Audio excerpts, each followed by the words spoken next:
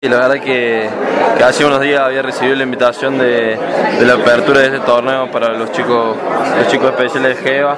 Eh, por una cuestión de agenda, muchas veces no puedo estar presente en muchos momentos, pero justo me consiguió de estar en Córdoba ahora, así que eh, no dejé pasar la oportunidad de poder venir, de, de, poder sumar a lo mejor desde, desde muy poquito con mi presencia, así que contento de poder estar acá y ver la felicidad que tienen ellos.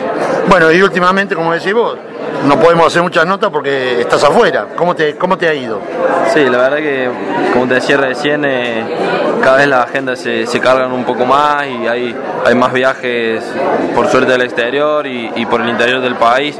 La verdad que muy contento con, con la mitad el primera, la, primera mitad de este año que he tenido. Eh, podido, podido cerrar un, ranking en el cual quedé primero y, y me ha beneficiado en poder aprovechar eh, por medio de la Asociación Argentina de Golf eh, giras en Estados Unidos y en el exterior, así que muy contento por eso. Bueno, ¿y cómo sigue esta segunda parte del año?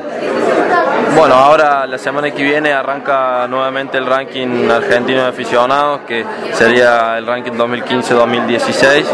Eh, juego, juego todos los torneos de ese ranking. En octubre viajo a Estados Unidos a representar a Argentina un torneo que se llama Spirit. Eh, de ahí esa gira se extiende casi un mes, me quedo a entrenar. Juego Copan de vuelta este año eh, representando al país, así que muy contento por la mitad de año que me queda muy carga. Bueno, Mati, como siempre, el agradecimiento porque siempre que requerimos tu presencia en el micrófono en nuestro programa, estás al, pie del cañón y realmente está pasando por un gran momento, un gran año y muchas felicitaciones.